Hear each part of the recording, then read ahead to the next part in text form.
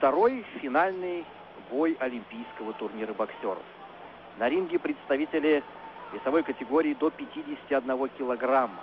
Кубинец Рамон Дювалон и боксер из Соединенных Штатов Америки, он в белой форме, Лео Рандольф.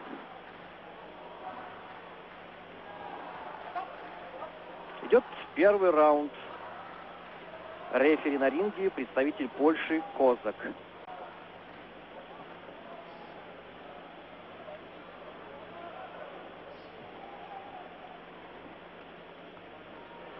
В этой весовой категории бронзовые медали завоевали польский боксер Лешек Блажинский и наш спортсмен Давид Тарасян.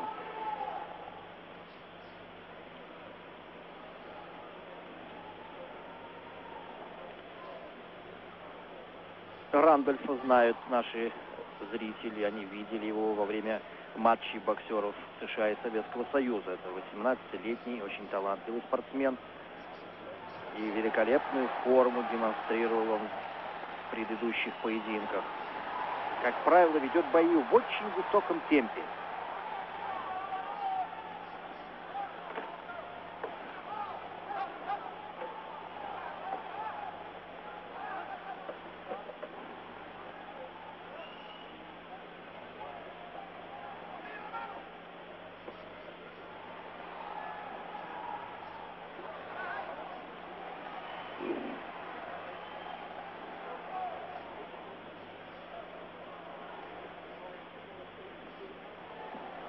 Взаимный обмен ударами.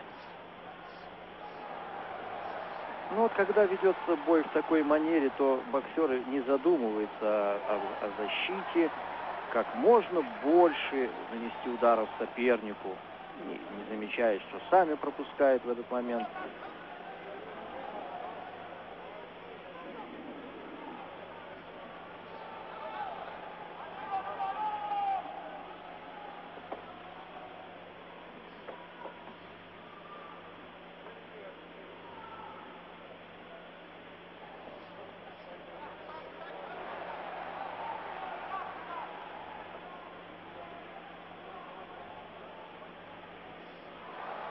Кубинец левша.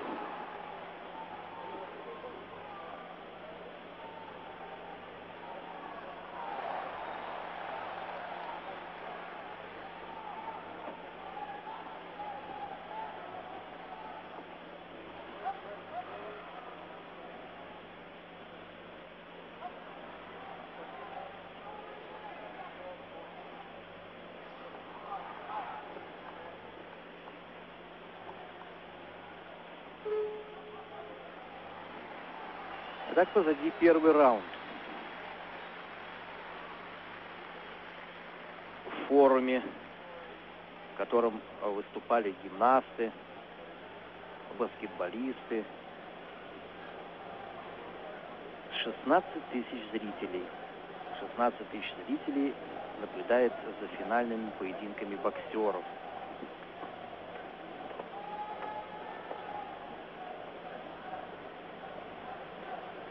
Кубинец Рамон Дювалон, ему 22 года. 120 боев провел этот спортсмен, 111 одержал победу.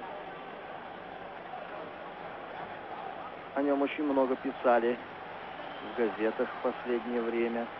Хорошее впечатление он оставил во время турне сборной Кубы по Европе.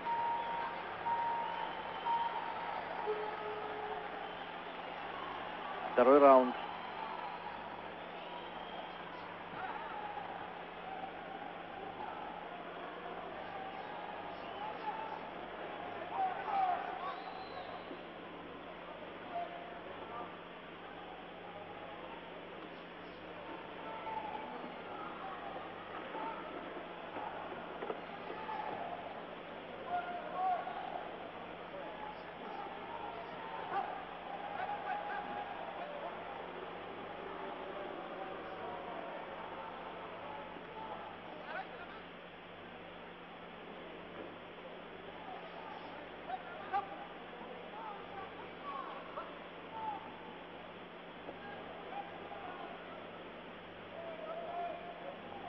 Здесь в зале, как нам сказал комментатор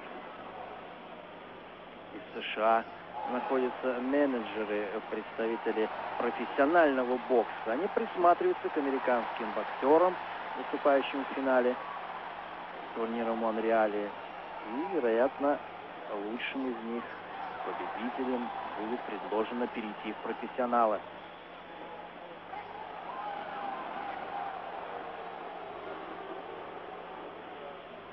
Очень часто любительский бокс США теряет своих лучших представителей после Олимпийских игр.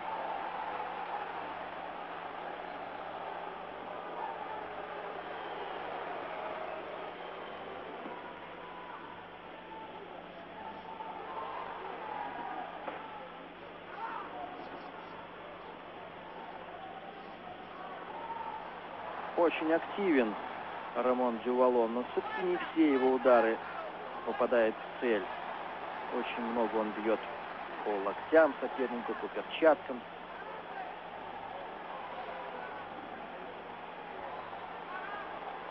А американец вот даже в ближнем бою все-таки ударами снизу достает Дювалона.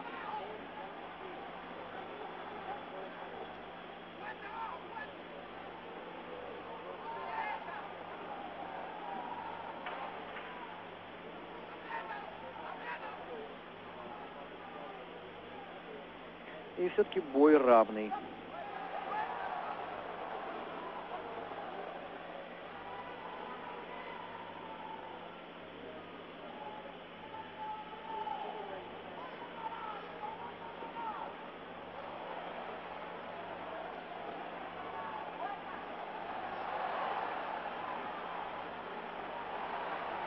Может быть, это прозвучит несколько банально, но вот в таких боях все решает третий раунд.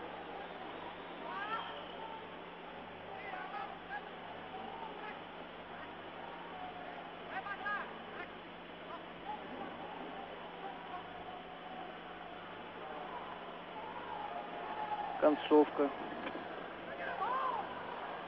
Концовка второго раунда.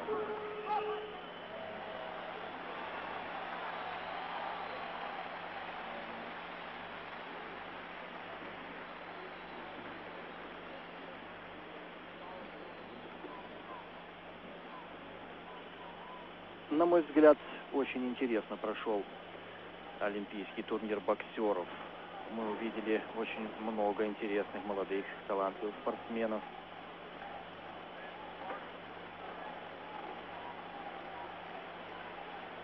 Не, не совсем удачно выступали на этом турнире боксеры Европы. Вот деталь, которая, вероятно, вас заинтересует. На прошлой Олимпиаде в Мюнхене из 11 олимпийских чемпионов по боксу 7 представляли Европу. Ну а сейчас большинство финалистов это боксеры Кубы, Соединенных Штатов Америки и вот двое из Корейской Народно-Демократической Республики. Один представляет Венесуэлу. И лишь по одному представителю от Советского Союза, Польши, Югославии и два боксера, по два боксера от ГДР и Румынии.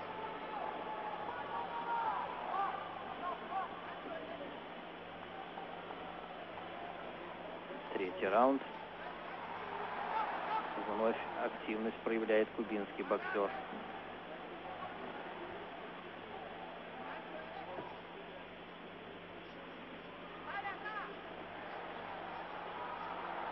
Посмотрите, вот в третьем раунде, а в каком высоком темпе ведут поединок спортсмены.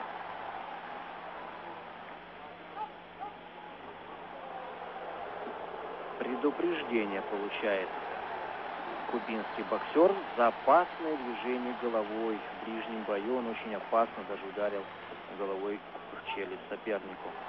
Ну что ж, вот в таком равном поединке это предупреждение, да еще в третьем раунде может, конечно, отрицательно сказаться на результате кубинского спортсмена.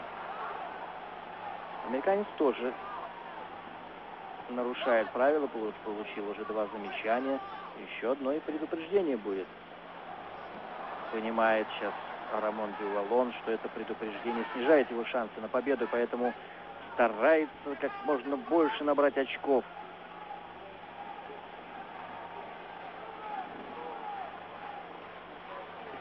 Вновь активно действует.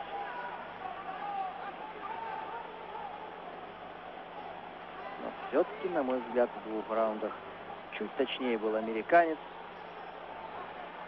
И сейчас отвечает отдельными ударами, довольно-таки точными. Все-таки контратакует.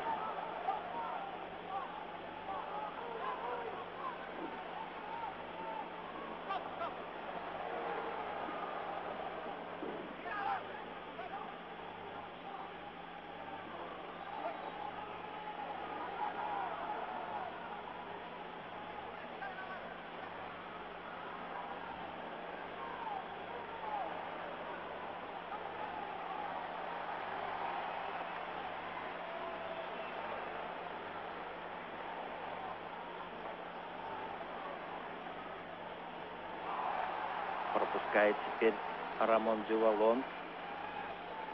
Легче двигается по рингу в третьем раунде американец.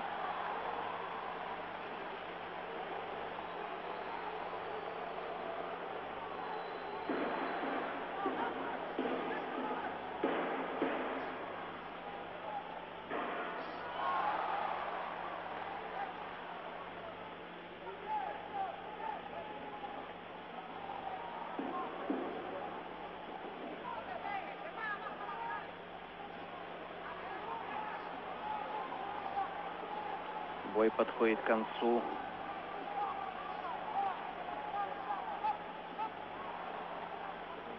После остановки боя, после команды стоп, ударил сейчас американец. Получил опять замечание от рефери.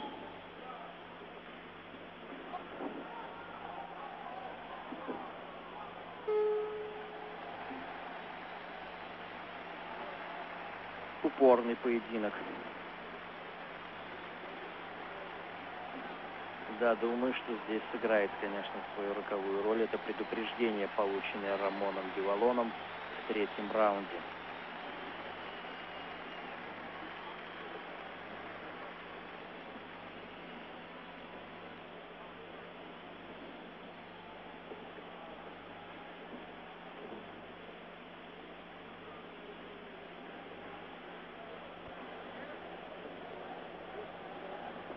Лео Рандольфу 18 лет.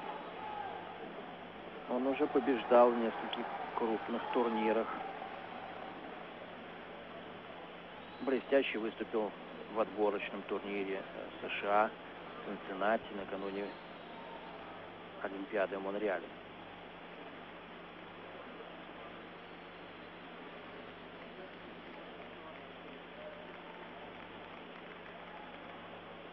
Польский рефери Козак собирает записки у пяти боковых судей. Затем передаст эти записки жюри. И мы узнаем имя второго олимпийского чемпиона. Первым стал кубинец, чемпион мира Хорхе Эрнандес.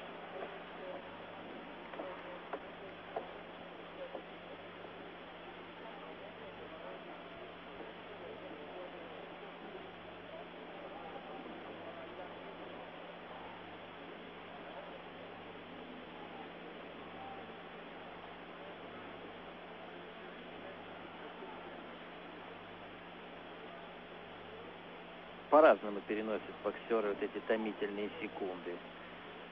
Один чувствует себя уверенно, считая, что он выиграл, другой колеблется, внимательно следит за выражением лиц членов жюри, которые рассматривают записки. За этим же столом сидит президент Международной ассоциации любительского бокса, советский представитель Николай Александрович Никифоров-Денисов.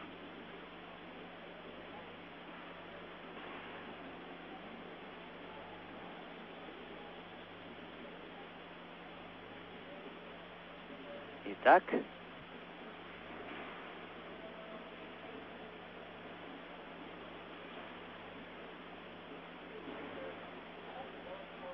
gagnant au point 3-2 dans le coin bleu, Léon Randolph. 18-летний американский боксер Лео Рандольф приносит. Своей команде первую золотую медаль. Побеждает он с минимальным перевесом. Счет судейских записок 3-2 в пользу боксера из США.